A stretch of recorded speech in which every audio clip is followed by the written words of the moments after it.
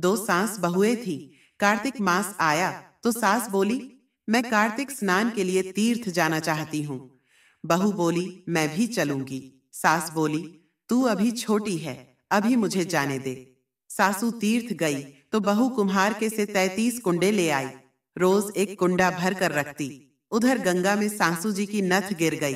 बहू कुंडे में नहाती हुई बोली, सासू नहावे, उंडे में मैं नहाऊ कुंडे। इतने में गंगा की धारा कुंडे में आ गई। साथ में सासू जी की नथ भी आ गई।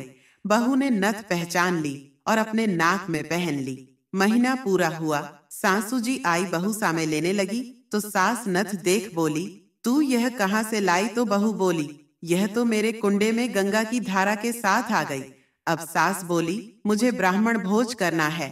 बहू बोली, सासू जी दो ब्राह्मण मेरे भी जिमा दो। मैंने भी कार्तिक स्नान किया है। तूने कहा कार्तिक स्नान किया तो बहू बोली ऊपर चलो मैं आपको बताती हूँ। ऊपर गए तो देखा सारे कुंडे सोने के हो गए।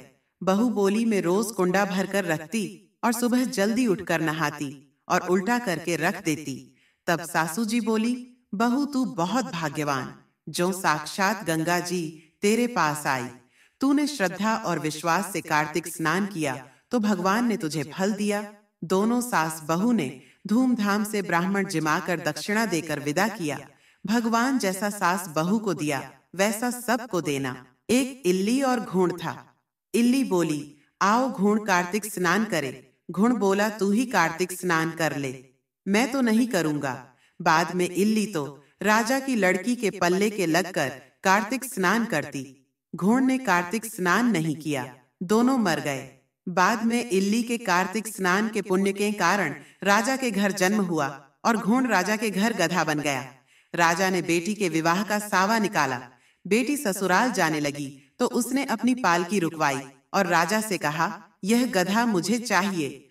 तब राजा ने कहा, यह मत ले चाहे और धन दौलत ले ले, पर लड़की नहीं मानी। मुझे तो यही चाहिए। गधे को रथ के बाँध दिया तो गधा दोधने लगा।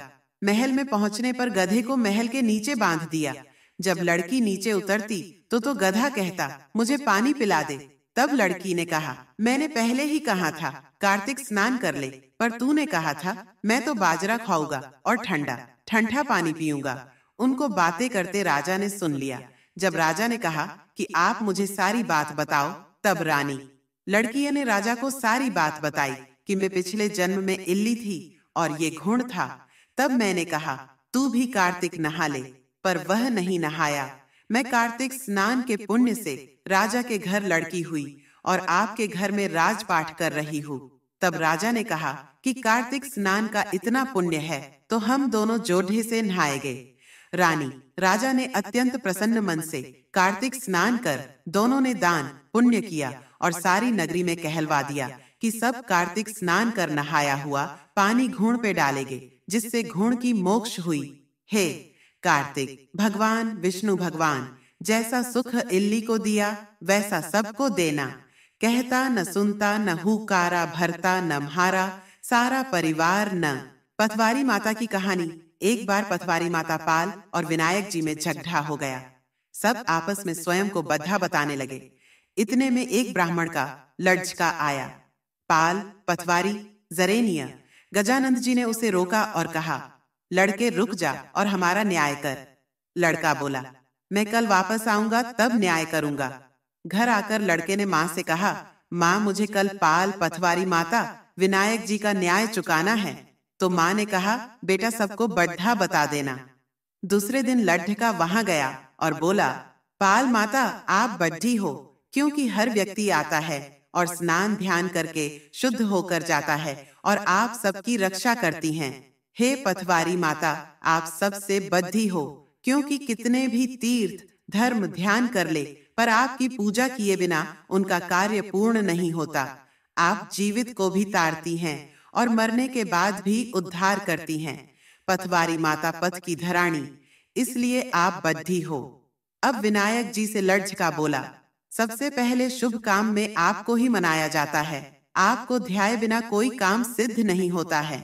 इसलिए आप बढ़े हो और पाल माता पथवारी माता स्विंग विनायक जी भगवान लड़के की चतुराई से प्रसन्न हो गए और बोले लड़के तुमने तो हम सबको ही बद्धा कर दिया उसको सुखी रहने का आशीर्वाद दिया और जौ के दाने उसके अंगोछे में डाल दिए।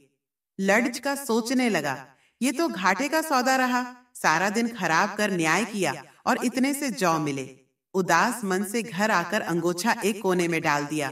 माँ ने अंगोछा उठाया तो उसमें से हीरे मोती बिखर गए। तो माँ बोली बेटा न्याय करके क्या लाया है? लड्डी अचका बोला माँ कोने में जो पढ़ा देख ले। माँ वहाँ गई। देखा हीरे मोती का ढेर लगा है। हीरे मोती जगमगा रहे। माँ अत्यधिक प्रसन्न हो गई। माँ ने बेटे को बुलाया और कहा बेटा आज तो पाल माता पथवारी माता विनायक जी, भगवान आज तो हम पर प्रसन्न हुए हैं। माँ बेटे, बहुत प्रसन्न हुए।